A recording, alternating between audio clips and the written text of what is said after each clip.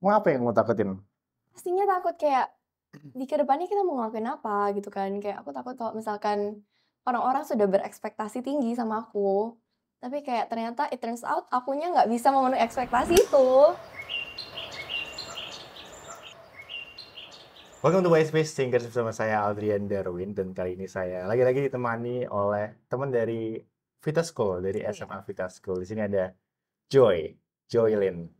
Hai. Joylin. Hai. Siap, Hai. Kamera dong. Iya. Joylin sekarang kelas berapa kamu?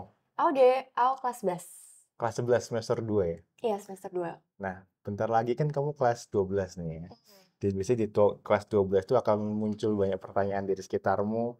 Tentu pasti. Nanti kamu lulus mau ke mana? Kamu di rumah jurusan apa? Hmm, Rencanamu selanjutnya apa? Iya, berat Udah, ya. iya, kamu udah ada nggak kayak jawaban buat itu semua? Sebenarnya harusnya normalnya ada, Oke, harusnya normalnya idealnya ada. Idealnya ada. Tapi sayangnya nggak tahu kenapa ya. Mungkin karena aku kurang persiapan, tapi kayak buat aku buat sekarang nggak ada. Masih belum ada, Masih masih belum ada pemikiran kayak gitu. Udah nyoba nggak kayak buat mempersiapkan itu? Iya pasti. Aku sudah nyoba be- beberapa hal di mana aku mau menggali potensi aku dan kira-kira apa yang cocok buat aku. Contohnya kayak ikut webinar, seminar, workshop gitu kan. Dan walaupun aku ngelakuin itu, sampai sekarang kenyataannya kayak aku masih bingung. Aku nggak tahu mau ngapain selanjutnya. Oke, jadi intinya kamu masih bingung lah ya nantinya mau apa. Hmm. Dan itu kenapa kamu ngangkat topik ini? Kamu Hmm, ngangkat iya. topik. Topik itu menarik. Tingkat Cid eh, ngangkat topik tentang eh, dewasa itu seperti apa. Hmm. Kamu takut gak sih tambah dewasa ntar? Takut lah. Kenapa takut? Mau apa yang mau takutin? Pastinya takut kayak di ke depannya kita mau ngelakuin apa gitu kan. Kayak aku takut kalau misalkan orang-orang sudah berekspektasi tinggi sama aku, tapi kayak ternyata it turns out akunya nggak bisa memenuhi ekspektasi itu. Jadi kan kayak takut mengecewakan gitu kan. Iya, iya. Eh, Itu menarik sih sebenarnya. Eh, kalau itu kan kalau kamu dari sekarang remaja Hmm. terus ke masa dewasa ntar ya, kamu agak takut akan ekspektasi orang-orang. Oke. Mm-mm. Nah, mungkin kamu nggak merasa cemas, tapi kamu ada Hmm. bayangan nggak dulu pas kecil kayak masa remaja itu bakal gimana? Kamu bakal ngapain aja pas nanti? Iya, tentu. Pasti-pasti. Karena kayak dulu misalkan kita sudah kenal banyak hal gitu kan. Dan kita berekspektasi kalau remaja itu kita bakal senang-senang doang gitu kan. Oh. Dan kalau dewasa juga bakal senang-senang kerja gitu kan. Tapi kenyataannya itu kayak dipatahkan dari remaja, dari siklus remaja ini. Di mana kayak ternyata jadi dewasa itu susah. Jadi remaja maksudku Dari remaja kalau misalkan kita lihat, kita lihat kayak banyak orang kan, banyak orang dewasa di sekitar kita. Dan kita merasa kalau misalkan, aku merasa kalau misalkan jadi orang dewasa itu susah. Oke, kalau dari remaja sekarang, masamu remaja sekarang ini udah sesuai sama bayangan dulu pas kecil nggak? Enggak. Enggak, aku nggak nyangka remaja kayak gini. Apa yang kamu nggak sangka? Karena kayak aku pikir, kan kayak tadi aku bilang kan, aku pikir kalau remaja itu kita bakal have fun bareng, kita bareng nongkrong bareng teman-teman itu sering. Dan ternyata nggak juga gitu loh. Iya. Banyak tanggung jawabnya ya. Hmm. Makin Iya sih. tambah umur, tambah Heeh, bener. Kalau aku ya ngerasanya ya, pas dulu kecil itu, apa yang paling membedakan ya? Pas dulu aku kecil, pas SD itu aku punya imaginary friend. Kamu dulu punya nggak imaginary friend? Hmm. Aku lu punya, meskipun iya, meskipun mes- itu mungkin kamu punya tapi kamu nggak sadar. Aku pun nggak sadar sebenarnya, cuman aku diceritain sama orang tua aku kok. Dulu aku sering main sendiri kayak ngobrol sama teman meskipun nggak ada. Tapi itu normal ya, itu bukan sesuatu yang mistis. Jadi itu normal biasanya anak kecil punya imaginary friend. Tapi ketika remaja, imaginary friend itu hilang, ganti jadi imaginary audience. Jadi ketika remaja, aku merasa itu semua orang tuh selalu nontonin aku. Sih? Semua orang tuh selalu kayak ngejudge aku kayak Hmm. jadi karena aku ngerasa orang itu merhatiin aku, aku selalu merasa kayak gimana caranya supaya orang-orang ini suka sama aku. Iya, iya. Apa yang tak lakuin Hmm. ini apa ya? Orang lain tuh bakal ngelihat aku kayak gimana. Aku pernah nonton ini ya, kayak semacam social experiment. Jadi Hmm. di YouTube ada social experiment gitu, di mana ada orang yang interview eh, orang dari berbagai usia. Jadi ada kayak satu grup remaja, satu grup orang-orang udah tua. Hmm. Terus ditanyain kan, eh, apa yang kalian sesali dalam hidup? Kalau kamu apa coba? Kamu dulu deh. Ada kamu ada yang sampai kamu remaja ini ada nggak hal yang kamu sesali? Keputusan yang kamu sesali ada nggak? Mungkin nggak ada ya. Dan ya mungkin nggak ada sih. Emang ada, ada. emang ada disesalin. Nah gini, kalau aku lihat di di eh, social eksperimen itu, jadi yang membedakan adalah kebanyakan remaja ini mereka menyesali hal-hal yang sudah mereka lakukan. Mmm. Oke, jadi kayak mereka nyesel, "Aku pernah gini aku pernah gini, aku pernah nyakitin ini, pernah ini." Nah, orang-orang yang tua ini ketika ditanya apa yang mereka sesali, kebanyakan orang tua ini menjawab yang yang mereka sesali itu adalah hal-hal yang belum pernah mereka lakukan, ya nggak sih? Oh, Jadi iya. mereka nyesel pas masa muda itu, "Aku nggak gini, aku nggak nyoba Or ini, aku nggak explore nyoba itu." gitu. Iya, gitu. Mmm. Jadi itu menarik sih kayak. Ketika kita berubah umurnya Mmm. tuh, yang kita sesali itu beda. Kalau kita sekarang, kita menyesali apa yang udah kita lakukan. Mmm. Tapi kayak udah udah tua nanti, kita ngelihat ke belakang lagi, itu ses kita sesali adalah Karena kita belum melakukan itu. Iya, dan justru yang udah kita lakukan itu kayak jadi pelajaran buat Iya. kita nanti itu loh. Iya, tapi kalau Aldrian sendiri punya sesuatu yang disesalin nggak? Mmm? Aduh, bagus nih pertanyaannya.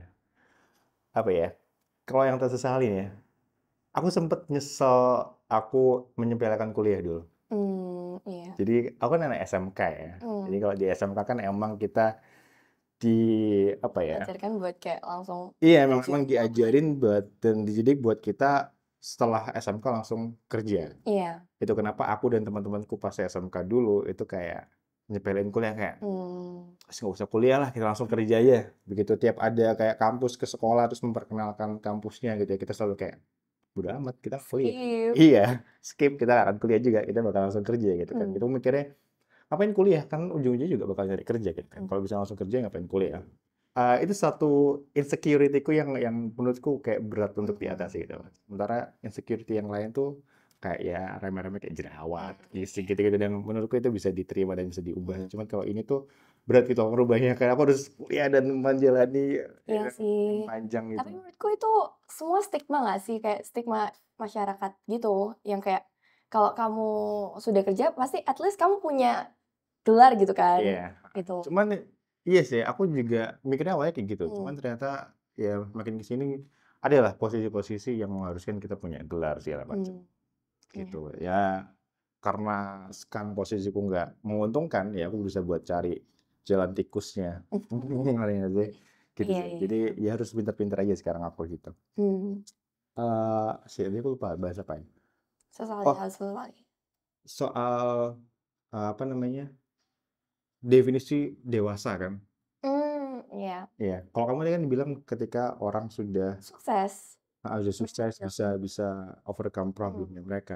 Kalau menurutku dewasa itu adalah ketika aku bisa benar-benar mandiri. Mmm, Kayak aku iya. nggak nggak bergantung sama orang tuaku, aku bisa secara finansial menghidupi diriku Mmm. sendiri. Menurutku itu sih dewasa, tapi kan beda-beda ya, kalau menurutku itu, dewasa itu aku bisa benar-benar menghidupi diriku sendiri. Iya.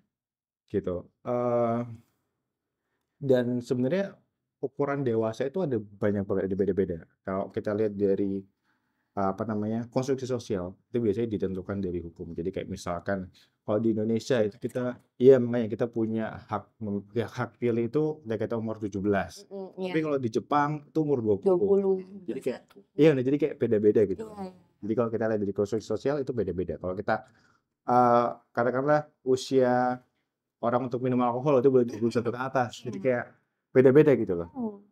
Jadi nggak pernah ada kayak satu ukuran yang pasti. Nah, kalau dari apa ya, aku pernah baca kalau dari, eee, adat itu kan ada kan kayak suku-suku adat yang apa namanya masih memegang teguh adatnya mereka. Iya. Jadi ada juga di pedalaman sana Iya itu iya. kayak mengukur kedewasaan itu biasanya dari dari umur. Jadi ada yang umur 15 itu Oh udah iya, dewasa, ada yang umur 16 itu udah dianggap Mmm. dewasa dan mereka menganggap itu tuh sesuatu yang spesial dan harus dirayakan. Iya sih. Ngerti nggak sih? Kamu tahu nggak sih, pernah dengar-dengar itu nggak sih? Aku tahu, aku pernah dengar dan menurutku Gimana? mmm, ya gimana ya, sebenarnya kalau adat ya mereka mengindahkan adat mereka kan, tradisi mereka. Tapi menurutku kayak mungkin ketika mereka mengadakan kayak acara-acara yang besar gitu, mungkin sebagai anak yang mungkin sebagai anak yang mau beranjak itu, aku kayak bakal merasa kayak terbebani nggak sih? Iya sih, karena harus dirayakan ya. Iya. Kayak Sweet Seventeen kan sebenarnya kayak sebenarnya Iya, semacam iya juga ritual ya. kalau kalian udah Mhm. dianggap dewasa kan. Kalau Mmm. itu modern, kalau kita di modern di kota itu kan Iya sih. semacam ritualnya adalah Sweet Seventeen. Tapi kalau di pedalaman sana ada kayak ini aku pernah baca. Jadi di usia 15 tahun di suku Atayal di Taiwan itu ketika mereka usia 15 tahun itu udah dianggap dewasa dan ritualnya adalah, eee, ditato wajahnya. Mmm. Jadi buat nandain kalau dia udah dewasa. Jadi kayak serem-serem gitu lah. Kayak bahkan di, eee, suku pedalaman Amazon, usia 12 tahun udah dianggap dewasa. Mhm. Laki-laki ya, laki-laki yang udah dianggap dewasa itu ritualnya dia jadi tangannya itu dimasukin kayak ke daun gitu, Mmm. terus daunnya diisi semut peluru. Jadi mereka harus nahan mereka harus Nahan nahan sakit. sakit itu selama 10 menit Aduh. dan nggak boleh kelihatan. Jadi ukurannya dia dianggap dewasa itu kalau dia bisa Nahan uh, sakit ya? iya nahan sakit dan kayak nggak nunjukin heeh, dan nggak nunjukin kalau mereka sakitan. Wah. Iya, terus yang lebih serem lagi, jadi kan kalau cowok-cowok ya, kalau di uh, di Afrika sana itu ada namanya FGM. Jadi Iya. iya, female genital mutilation. Jadi uh, wanita yang udah beranjak dewasa itu kayak ada ritualnya uh, mereka memutilasi bagian vagi vaginanya. Jadi ada yang klitorisnya dipotong. Mmm. Pokoknya ada macem-macem lah. Apa yang yang dioperasi, ada yang Mhm. bahkan ditutup gitu loh. Dan itu sebenarnya sama sekali nggak ada dampak baiknya Iya kalau yang sih. FGM tuh. Dan itu udah dilarang banget di mana pun tuh kayak melanggar hak asasi manusia segala macam karena hanya menimbulkan penyakit. Iya iya. Gitu. Jadi kayak ukuran dewasa itu banyak banget. Relatif ya. Iya. Dan kalau menurut sains nih, ini yang valid ya. Mmm, yang valid yang Iya, valid. yang valid. Jadi kalau menurut sains seseorang ini dikatakan dewasa itu di umur sekitar 22 atau 23 pokoknya pertengahan 20-an lah. Karena mentalnya Karena otaknya udah benar-benar develop. Jadi berkembang. mhm. Jadi uh, otak kita tuh akan terus berkembang sampai usia uh, 23 23 itu pertengahan 20 itu. Mhm. Jadi yang paling lama sebenarnya uh, matang itu adalah bagian prefrontal cortex. Jadi yang paling bagian otak paling depan. Itu Mmm. yang bertanggung jawab atas kayak mengambil keputusan, rasional, uh, mengendalikan emosi kita. Jadi itu itu bagian otak yang paling terlambat untuk Yes. Uh, mateng gitu ya. Dan di usia remaja otaknya memang belum matang. Itu kenapa anak-anak remaja itu cenderung berperilaku reckless, suka Iya. heeh, mengambil uh, tindakan yang impulsif. Itu emang karena otak mereka belum matang Iya. gitu. Jadi apa ya, ini sesuatu yang yang dimaklumi gitu loh. Normal Kayak ya. iya, emang normal aja kan? Karena iya, Iya. karena emang otakmu belum mateng kayak gitu. Iya. Jadi kayak nggak apa-apa gitu. Mmm. Gitu. Tapi itu kan di usia remaja kan memang kita belum matang. Tapi di di di sekitarmu ada nggak sih orang yang seusiamu Oh. tapi menurutmu Dia dia dewasa dewasa banget? Iya. Ada nggak sih? Ada. Dan apa yang mem yang membuat kamu bilang kalau dia itu dewasa banget? Aku nggak tahu kenapa, tapi ada beberapa orang di sekitarku yang ketika, mmm, dia dari cara dia berbicara itu men kayak seolah-olah menandakan kalau dia benar-benar seseorang pribadi yang dewasa. Ngerti nggak sih cara ngomong mereka, dengan sikap mereka.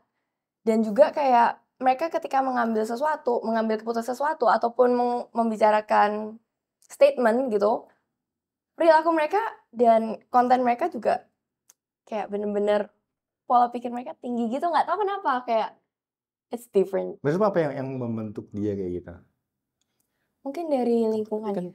dari umur kan ya kita udah ngomong ya, kalau otaknya masih belum fully develop. Terus apa yang bikin dia bisa kayak gitu kira menurutmu? Mungkin pengaruh orang sekitar Iya sih jujur. yang ngebantu mereka buat mereka atau yang mengharuskan mereka untuk berpikir seperti itu. Biasanya yang apa ya, yang hidupnya lebih susah itu Iya, biasanya tuntutan nggak iya, sih? terpaksa lebih dewasa dari Mhm. umurnya biasanya. Tapi itu wajar nggak sih? Wajar dan is harus ya. okay. Iya. Dan harus kalau misalkan kamu ada di posisi yang kurang menguntungkan ya kamu harus lebih dewasa. Karena kalau enggak Mmm. kamu cengeng ya Nah, tapi kan gitu. itu pribadi orang masing-masing kan. Iya sih sebenarnya. Susah buat dibentuk kan, Iya susah buat benar. diubah juga. Tapi kalau jadi dewasa itu ada capeknya nggak sih? Soalnya kayak aku pikir sem di masa aku yang remaja ini, aku sudah merasa capek. Kalau Capek? capek di masa remaja ini gimana masa ya dewasa itu, ya nggak sih? Mhm. Mungkin kalau Capek sendiri, apa? Ya capek, ngerti nggak sih? Kalau kita kan punya banyak PR. secara mental dan fisik gitu ya. Iya, bener banget. Kita punya banyak PR, kita punya banyak tugas, dan itu memang tuntutan sekolah kan. Jadi itu wajar. Tapi ada di kala ada di satu titik di mana aku kayak merasa kayak, "Aduh, ini kok nggak selesai-selesai, padahal aku sudah ngerjain," gitu kan. Iya. Kalau di dunia dewasa gimana? Kalau aku justru enggak sih. Aku nggak Enggak. ngerasa capek. Aku justru ngerasa capek dulu pas sekolah. Loh, kenapa? Karena pas sekolah itu emang tugas tuh banyak emang. Iya Ya aku sih. kan bisa nggak tidur Mmm. dari, dari sampai subuh nggak mandi. Iya begadang nggak mandi ke sekolah tidak. Pas aku udah kerja itu kayak lebih tertata gitu loh, ngerti nggak sih? Kayak ada Bisa. ada lebih ada rutinitas kalau kerja Mhm. itu. Karena ya kita kerja sama orang profesional ya. Jadi kayak kita udah tahu udah terbiasa mungkin. Mungkin dari pengalaman kita tadi di di sekolah, mungkin dari situ kita Belajar. belajar untuk lebih ngatur waktu segala macam. Jadi aku rasa jauh lebih nikmat sekarang daripada pas dulu sekolah. Dulu sekolah kan duit gak ada, waktu Iya habis, sih. capek. Kalau kerja justru sebaliknya gitu loh. Tapi kalau lembur, lembur kan Kalau lembur juga ya nggak nggak tiap hari gitu loh, ngerti Oh iya. Kayak tadi malam mungkin aku lembur Oh karena ya? ini. Oh ya? Gitu, jadi nggak apa ya, bukan sesuatu yang menyiksa banget gitu loh. Hmm. Karena aku juga kerja di apa ya, bidang yang emang sesuai apa yang aku suka gitu. Mungkin beda kalau orang lain yang kerja di bidang yang mereka nggak suka. Kamu apa? Kamu udah ketemu belum? Aduh, itu dia, itu yang jadi problem aku semenjak kelas 11 ini. Karena aku dituntut buat kayak kamu harus sudah nentuin jurusanmu apa, apa yang kamu sukai. Sedangkan aku, aku nggak tahu apa yang aku sukai bahkan. Tapi dari sekolah ada nggak kayak kegiatan-kegiatan yang membantu kamu Iya, ada. berusaha Iya. menemukan itu? Apa Di, coba? di sekolahku sendiri sudah ada kayak BK. BK-nya itu dia kayak bukannya konsultasi, ya tetap melayani konsultasi seputar sekolah, tapi juga dia menyediakan suatu sarana gitu yang menyalurkan kita siswa SMA Vita sama universitas-universitas gitu. Oke, kalau misalkan kamu nggak tahu kamu suka apa dan kamu nggak tahu mau apa nih, tapi kamu punya nggak role model? Role model, aku punya Apa siapa? Taylor Swift. Kenapa? Ya mungkin siapa sih yang nggak kenal Taylor Iya. Swift? Kayak gimana dia dari nol sampai dia sukses sampai sekarang, lagunya booming-booming. Ya gitu. Kayak siapa yang nggak kenal Taylor Iya. Swift? Dari dia awal dia hanya main gitar sambil nyanyi, Mhm. kemudian dia dimulai disorot publik gitu kan. Jadi iya sih biasanya, Her artwork. Biasanya eh, role model itu lumayan menentukan kayak arah hidup kita sih. Meskipun secara nggak sadar ya, kayak kita mengidolakan siapa itu secara nggak sadar kita apa yang kita lakukan itu akan menuntun kita untuk ke sana Hmm. sebenarnya. Jadi Iya. buat aku penting buat seseorang punya role model apalagi seumuran kamu itu penting buat punya acuan gitu ya, punya Mhm. goals kamu pengen ke mana dan jadi apa. Jadi nggak blur terus kayak akhirnya wing wing wing wing nyoba ini tuh nggak ketemu-ketemu itu malah eh, apa ya nggak baik juga gitu loh. Iya sih. Tapi ada nggak yang bisa bikin kamu, kamu kan tadi kamu bilang kamu takut dewasa kan? Hmm, aku takut. Ada nggak sih hal yang bikin kamu jadi nggak takut? Aku sedang mencari itu.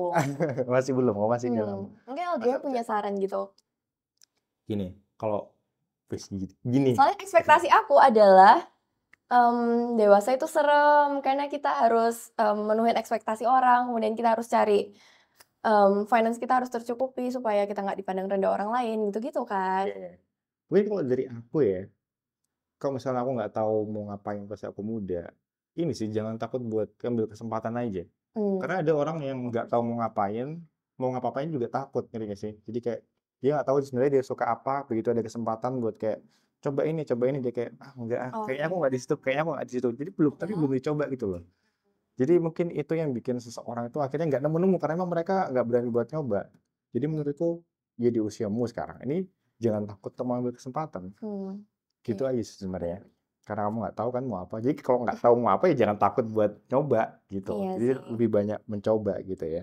Tapi karena kalau em, karena misalkan ketika kita sudah oke, let's say kita ambil opportunity itu kan, Hmm. tapi ketika kita gagal pasti kita kayak kecewa kan, ada rasa kecewanya. Jadi mungkin itu yang aku takutin kalau aku ujungnya kecewa, aku gagal, terus aku stres, depresi kan itu kayak lebih bahaya lagi nggak itu, sih? itu sih itu topik lain ya Hmm, untuk iya. acceptance. Itu ada topik uh, stoicism uh, Hmm. kita sempat bahas juga. Jadi kita berusaha menerima apa yang nggak bisa kita kontrol dan berusaha merubah apa yang bisa kita kontrol. Hmm. Gitu. Jadi kita harus bisa membedakan itu apa yang bisa kontrol, apa yang bisa kita kontrol sama apa yang nggak bisa kita kontrol. Hmm. Yang nggak bisa kita kontrol ya kita terima, yang bisa kita kontrol kita berusaha Iya. uh, mengubah gitu ya. Hmm. Jadi gitu sih kalau menurutku dari masa remaja ini mungkin kebanyakan orang dewasa itu mikir kalau anak remaja kayak seusia kita ini bodoh lah, nggak tahu Hmm, apa-apa, iya, iya. reckless, ceroboh. Itu kenapa ya? Karena emang otak kita Otak masih belum matang, iya. masih prefrontal cortex kita Hmm. bagian depan kita ini masih belum matang dan dan itu adalah tugas orang dewasa gitu ya untuk Iya, iya. menjadi prefrontal cortex kita untuk menuntun kita dan uh, apa ya menuntun kita ke jalan yang benar gitu ya nggak kita nggak nggak salah arah gitu. Hmm, Dan iya. justru hal itu yang justru ketidakmatangan itu yang bakal mendorong kita, kamu untuk Belajar. terus punya rasa penasaran untuk Mhm. nyoba Iya. ini itu sampai Iya. akhirnya nemu kamu suka apa Mmm.